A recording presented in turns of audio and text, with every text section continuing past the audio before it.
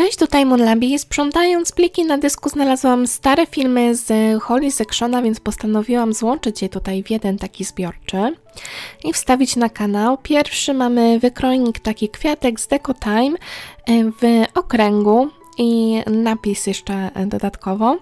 Drugą rzeczą są mm, papiery kilogramowe, różnokolorowe, e, które uwielbiam zarówno do kwiatków, jak i do kartek, czy nawet na maty do albumu. Następnie mam tutaj, to jest papier lustrzany. Jeden jest taki zwykły, standardowy, natomiast mm, drugi już jest z różnymi fakturkami i jest w różnych kolorach. Bardzo ciekawe wzory ma i od te papiery są po 3 zł z groszami, także zawsze jak wychodzą nowe wzory, to sobie dokupuję i również zwykły taki podstawowy lustrzany, bo lubię wykorzystywać je w pracach i robić e, chociażby jakieś skrapki z tego, mm, czy tą pierwszą taką bazową e, kartkę przyklejoną na kartkę tło, więc wzięłam też jedne takie, jedne takie. Kolejne jest holo, ale nie będę Wam tutaj świecić po oczach, bo bardzo się odbija i moja kamera tego nie lubi. I znalazłam też trzeci kolor Maxmore e, tego highlightera w kolorze mm, Dreamcatcher to jest chyba. Poprzednie miałam e, i akurat e, ten wyszedł jako nowy. Oczywiście bazy do kartek, ja je uwielbiam za to, że mają od razu koperty i są w różnych rozmiarach i formatach. Ja zazwyczaj biorę mm, wszystkie, które są w kwadratowe i trochę prostokątnych, żeby również móc z nimi pracować. Wzięłam też więcej folijek e, do kartek, bo tego też nigdy za dużo. Co roku również pojawiają się nowe zestawy kart z kopertami e, i tutaj mamy 30 sztuk za 10 zł, e, także skusiłam się na dwa opakowania i tutaj są wzorki. Mm, nie są one aż tak dobrej jakości niestety jak rok temu, ale i tak myślę, że je spokojnie wykorzystam, tym bardziej, że są pasujące koperty, także jako bazy pewnie gdzieś tam użyję w swoich projektach. Mm, I były też inne kolory, ale te jakoś najbardziej mi się podobały i są najbliższe mm, klimatom, w których tworzę. Oczywiście zapas tej piankowej taśmy, ja ją uwielbiam e, i używam na metry, dosłownie wszędzie podklejam wszystko tą taśmą. Pojawiły się też takie mm, materiały, które nie są grube i o to mi chodziło. One są takie fajne, cieniutkie, pluszowe mm, i chciałabym zrobić okładki do albumów mm, właśnie przy użyciu tych materiałów. E, I były trzy kolory. Był taki właśnie delikatny beżowy, zielony i taki ni to czerwony, ni to taki malinowy, też taki świąteczny kolor. I tak jak mówiłam, one są bardzo miłe w dotyku, także cieszę się, że dorwałam je. I trochę tych samoprzylepnych folii, które również nadają się idealnie, mm, żeby stworzyć okładkę do albumu. Także te wzory, które teraz były dostępne, to sobie kupiłam. Wiem, że bywa też więcej tych wzorów i w późniejszych zakupach udało mi się też dorwać inne, e, ale mm, pokazuję Wam najpierw te, które kupiłam na początku.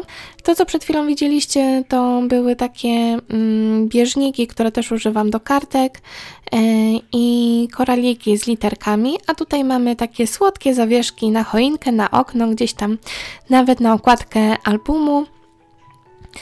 I okulary, okulary takie świąteczne. E, ja lubię robić świąteczne zdjęcia, w szczególności kiedy są dekoracje u nas w mieście i w miastach pobliskich. I często z mężem właśnie jeździmy, robimy sobie takie zdjęcia.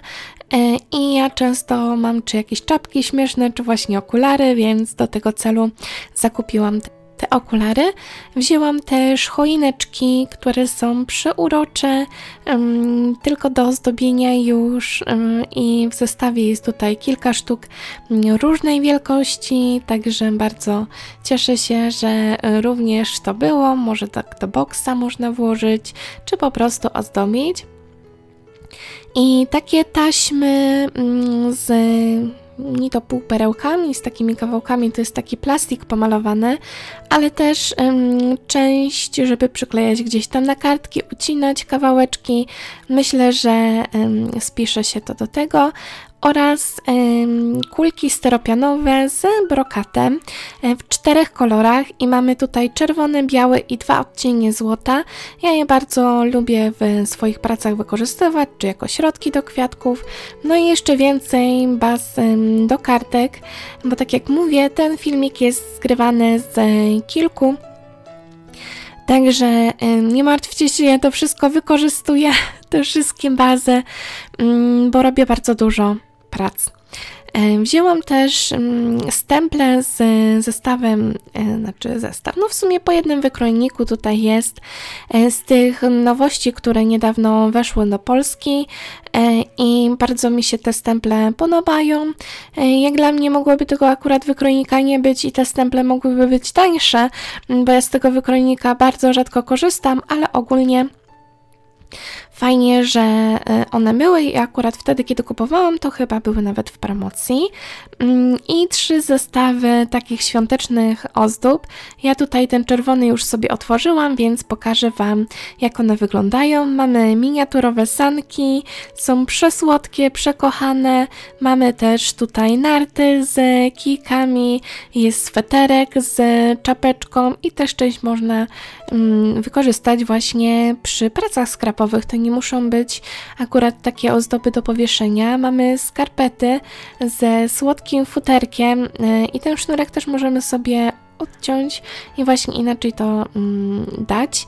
I przewiązany już sznurkiem mm, łyżwy oraz ostatnie jest, e, są to rękawiczki, też takie zimowe, fajne, świąteczne, przeurocze. No i tak jak mówiłam, w trzech kolorach: złoty, srebrny mm, oraz e, czerwony. Przynajmniej takie zestawy były u mnie. E, kolejną rzeczą są to mm, takie duże ni to cekiny. No, cekin teoretycznie ma dziurkę w środku, więc to są takie elementy do zdobienia, no i płatki śniegu oczywiście musiałam wziąć e, i gwiazdeczki też e, do jakichś takich zimowych projektów. Następnie zapas e, ładnie pościnanych, bardzo ślicznych i takich odbijających światło jetów. Nie są to takie typowe jety, także wzięłam kilka kolorów, część jest nowych, część już wcześniej była, jej też bardzo lubię wykorzystywać. E, I szablony, szablony literek e, różnego rodzaju i um, wzięłam je y, i dla siebie, i też dla Anity, także później zobaczycie jeszcze więcej ich i je fajnie można embosować, y, można przez maskę przeciskać, już widziałam wiele takich projektów, um, a tutaj troszkę naklejek tych chipboardowych. E, ten mi bardzo przypomina taki zestaw, który kiedyś był w Empiku. Tutaj mamy takie windyczowe, bardzo ładne, romantyczne. Mamy też przesłodkie pandy, E, inne zwierzaki, które wcześniej gościły również e, na różnych świątecznych mm, papierach i dodatkach z Ekshona z poprzednich lat e, oraz tutaj takie słodziaśne kwiatuszki, no i ten jelonek z porożem, z kwiatkami również przeuroczy. Kolejne rzeczy, które kupiłam, to są te um, takie DIY card making, um, czyli możemy sobie tutaj wyrwać jedną stronę i już zrobić kartkę. Mamy pokazany przykład jako mały obrazek, jak możemy to zrobić, ale ja w zupełnie inny sposób wykorzystuję właśnie te bloczki, ponieważ często wyciągam tylko te dajkaty, a później e, wykorzystuję je w innych pracach, też ale nie w taki sposób, jak jest tutaj podane i nie wszystkie elementy. Także wybieram sobie, co mi akurat pasuje i te tła później również wykorzystuję.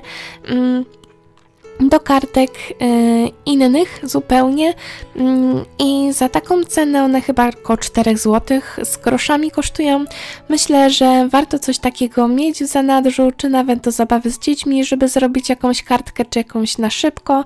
Jeżeli ktoś nie ma jakiegoś pomysłu, czy na jakieś akcje charytatywne, na licytacje, mm, to też jest fajny pomysł. I te wzory tutaj pojawiły się wcześniej dwa lata temu e, w bloczkach 3D właśnie świątecznych, więc też można jakoś to uzupełnić sobie i zrobić mm, coś ciekawego e, przy użyciu tych poprzednich, jeżeli macie, i przy tych e, z tymi nowymi. I ja też mam taki zamiar, dlatego wzięłam dwa zestawy tych mm, akurat jednych mm, elementów do robienia kartek ponieważ te dwa lata temu to był mój ulubiony 3D bloczek i cały czas mam do niego sentyment. Tutaj mamy kolejne takie bardziej, bardziej dziecinne wzory, mm, przesłodkie, uśmiechnięte mm, i, i takie no urocze, aż jak patrzę to uśmiecham się, słuchajcie, do tych kartek tutaj, które można z tego stworzyć. E, i również każdy jakby bloczek ma swoją mm, tematykę, e, więc e, nie ma tak, że wszystkie są dziecinne, wszystkie są jakieś tam naturalne, tylko fajnie, że te bloczki są zróżnicowane, więc myślę, że każdy będzie w stanie znaleźć coś, co mu pasuje i odpowiada. Kolejny jest też troszkę dziecięcy, tylko że w innej kolorystyce ale też są mm, tutaj elementy, które no, są tak słodkie, że no, nie, nie, nie było sposobności, że mnie zostawiła tam. Same na półce musiały powędrować e, do mojego koszyka i musiałam je zakupić. Mm, chociaż ja jeszcze nie do końca jestem przekonana może do koloru różowego w świątecznych pracach, ale staram się przekonywać, bo podobają mi się właśnie takie projekty mm, i chciałabym się ich też mm, gdzieś tam nauczyć, żeby ten różowy do tych świątecznych prac wplatać częściej, e, ponieważ oprócz takich standardowych kolorów też on ślicznie wygląda. I tutaj mamy już troszkę inną tematykę, mm, chociaż też cały czas jesteśmy w klimacie mm, świątecznym, ale tutaj te kartki są bardziej troszkę może naturalne. Część zdjęć jest taka faktycznie prawdziwa, mm, część jest e, malowana, ale też e, niektóre tutaj rzeczy nadają się chociażby do przepiśnika takiego świątecznego. Mm, możliwe, że uda mi się jeszcze w tym roku, może podczas Vlogmasa, nagrać jakiś taki właśnie świąteczny przepiśnik i użyłabym część z tych mm, grafik, e, bo chodzi już za mną od dłuższego czasu właśnie tego typu projekt. I ostatni bloczek jest już taki najbardziej naturalny, gdzie mamy najwięcej zdjęć, takie górskie może bardziej klimaty, takiej mroźnej chatki, gdzieś w środku lasu. E, także no jest to specyficzny klimat, który albo się kocha, albo się nienawidzi. Ja również go lubię, szczególnie właśnie e, jakieś takie wzory mm, typowo choinkowe, leśne, drzewne, z kominkami, z mm, z kawą, z kubkami e, są dla mnie takie mm, bardzo, bardzo inspirujące, ponieważ normalnie nie mam e, tego typu styczności z kominkiem i ze zwierzętami, z choinkami w lesie. Także bardzo mi się podoba. I zakupiłam też, um, tu jest cztery kolory takich pudełek, które są teoretycznie pudełkami prezentowymi, ale ja chciałabym e, w nich umieszczać kartki, które są bardziej 3D i tam wejdzie nam spokojnie 12,5 na 12,5. Wzięłam też wykrojniki brzegowe, one bardzo ciekawe mają wzory i można gdzieś tam kartkę sobie uciąć, czy nawet zrobić maskę mm, w chmurki. Tutaj mamy taki wzór bardziej e, ze znaczkiem i z kwiatkiem. Każdy z tych tutaj zestawów jest inny i to już jest druga edycja tych wykrojników, ponieważ wcześniej były inne wzory, też je mam i często wykorzystuję w swoich projektach, e, dlatego wzięłam mm, wszystkie, bo cena też nie jest wysoka, a jednak trzy wykrojniki, tym bardziej brzygowe, mm, no to coś jest myślę fajnego i zawsze można sobie jakoś zaszaleć na tych pracach i zrobić coś troszkę innego, a one pasują i do świąt, i do jakichś kartek dziecięcych, i do ślubnych, zależy który, mm, i do vintage, także skusiłam się na nie oraz wzięłam taką zdrapywankę e, i nie, to nie jest dla mnie, e, to jest dla dzieci e, Anity, Ani.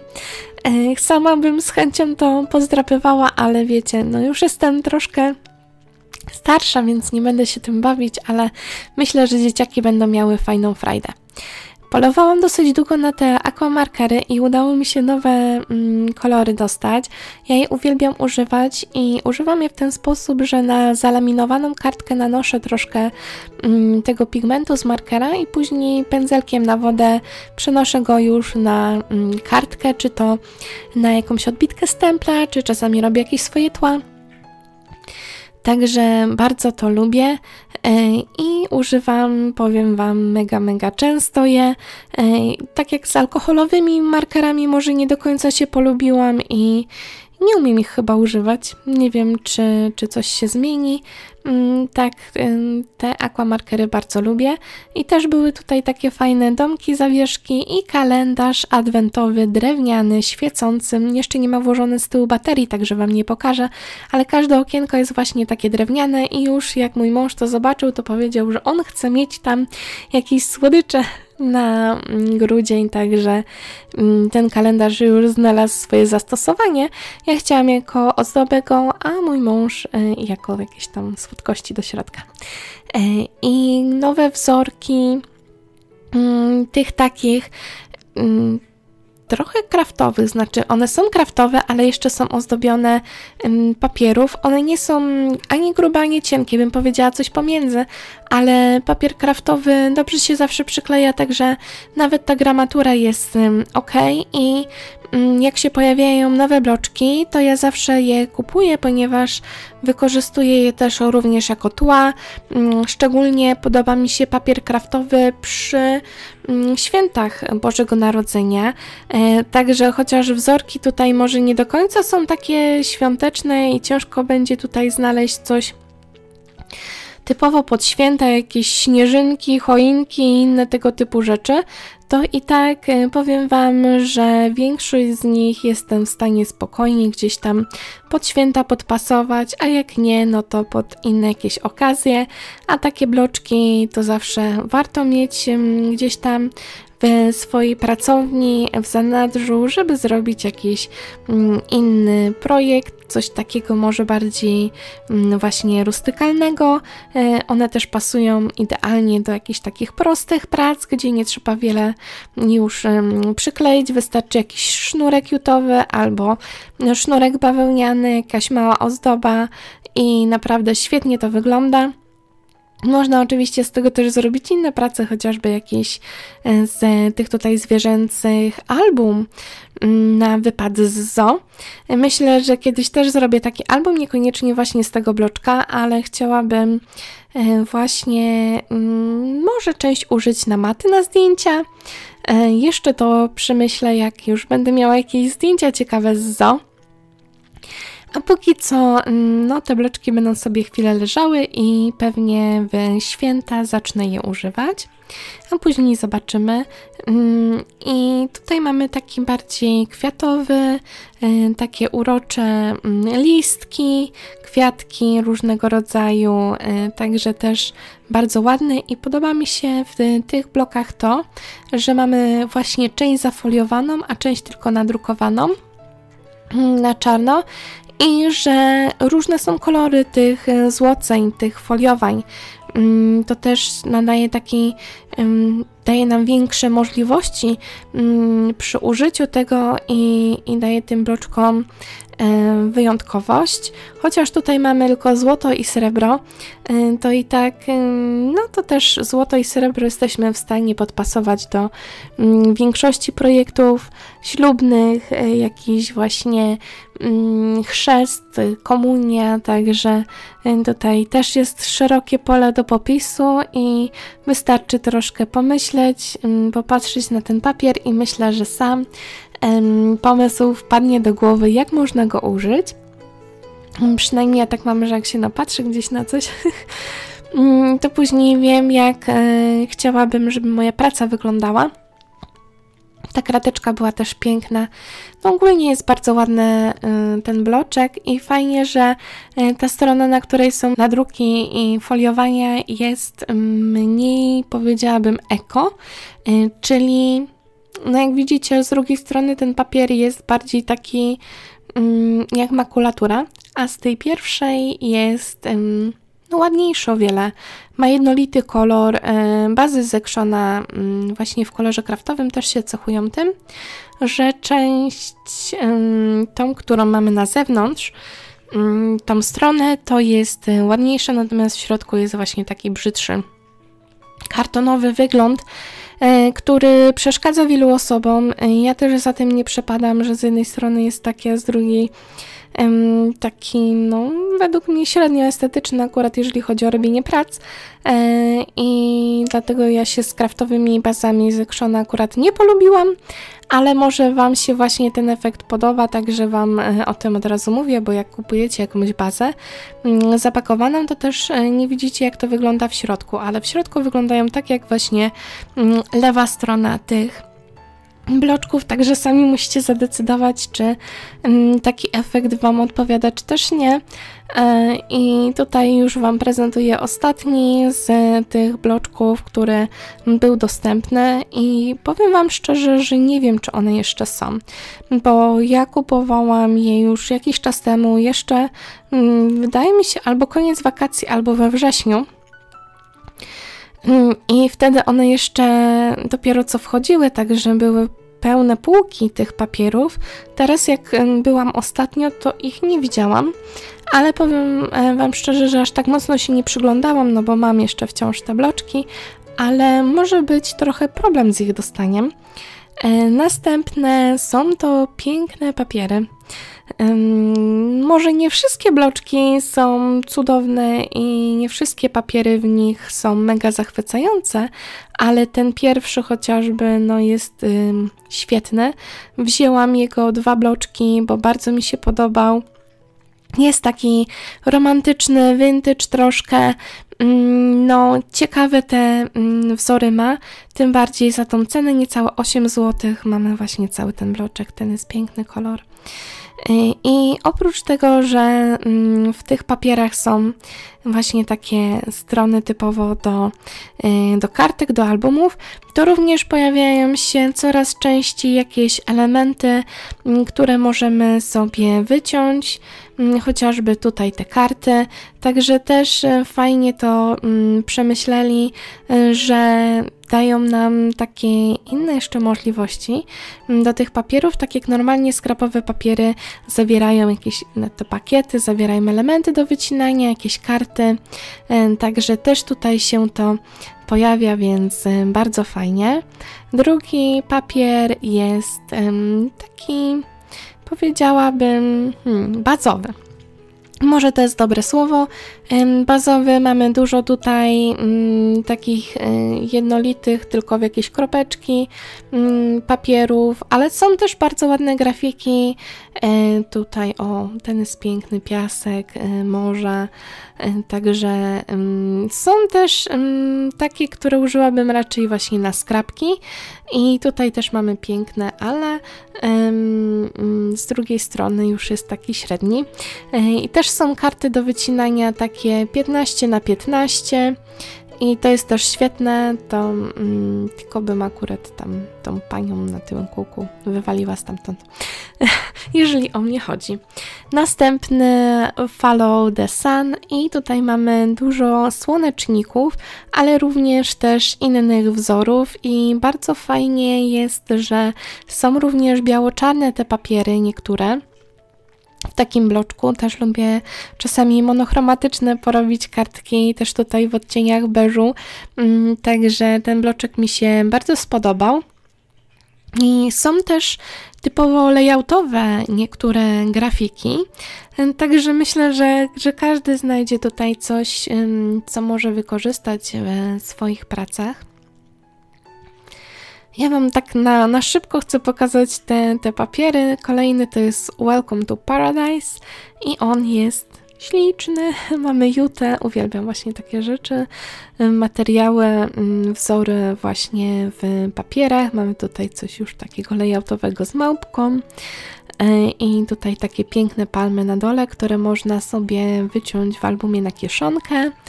E, także bardzo mi się też ten mm, papier podoba, taki jest wakacyjny, pozytywny, szczególnie teraz, kiedy no, za oknem już zaczyna się zima. Miło sobie popatrzeć na takie wzory. I również um, mamy tutaj elementy do wycinania z delikatną białą obramówką i one niestety są dwustronne. Ale mamy dwie karty takie same, także, także jest ok. No i karty do wycinania, po drugiej stronie Juta, no to pewnie Jutę wykorzystam. Kolejny w odcieniach um, teoretycznie miał być takich fioletowych, ale to jest też głównie taki basic. Ja używam je najczęściej na czekoladowniki e, właśnie tego typu wzory i delikatnie gdzieś tam zdobię ten później czekoladownik ale są to czekoladowniki typowo kiermaszowe, także takie papiery się tam idealnie do tego nadają i sprawdzają, e, bo nie są drogie, a te wzory nie są jakoś aż tak super, żebym chciała je gdzieś tam zachowywać na kolejne prace. I tutaj mamy biało-czarne, piękny bloczek e, z bardzo ładnymi mm, grafikami. Niektóre są troszkę duże, ale to tak jak mówiła Ella z Magic Place, można sobie nawet wrzucić to mm, w jakąś ramę i jako obraz potraktować. Także e, faktycznie to jest fajny pomysł, tylko trzeba by mieć taką 30 na 30 ramę. No i mamy tutaj kartę w środku. E, I teraz przechodzimy już do dalszych zakupów pojawił się taki papier, jak kiedyś był w Lidlu, e, czyli mamy jednokolorowy papier techniczny, mm, bardzo fajnej, wysokiej gramatury, który się nadaje chociażby na skrapki. I mamy tutaj aż 24 kolory i nowe maski. Te maski są dosyć cienkie, ale mm, tuszowanie bardzo fajnie wychodzi i też w zależności od tego, jaką macie pastę strukturalną, no to pewnie mm, też od tego zależy, czy ten wzór ładnie Wam się odbije, czy nie. Ja lubię je do tuszowania właśnie i głównie do tego celu je wykorzystuję.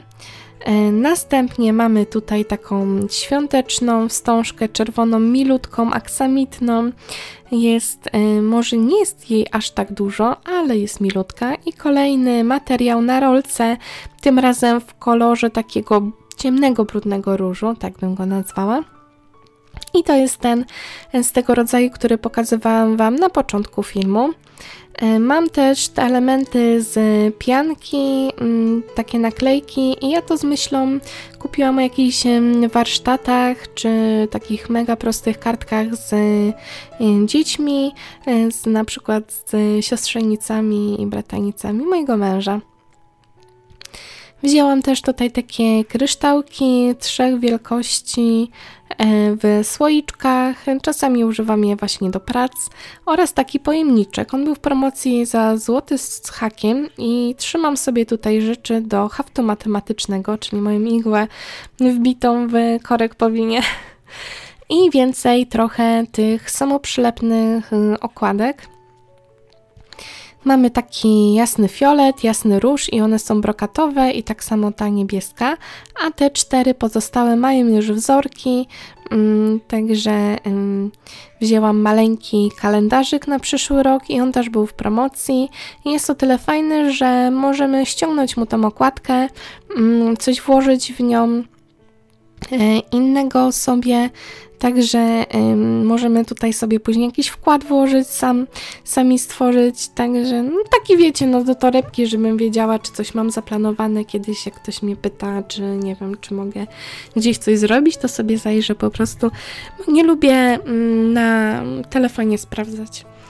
I tutaj więcej szablonów, tych literkowych, ym, zarówno dla mnie, jak i właśnie dla koleżanki, dlatego taka ilość ale chyba wzięłam wszystkie możliwe ogólnie wzory, bo to też nie były one drogie, a chociażby nawet do mm, grawerowania na szkle też się mi przydadzą.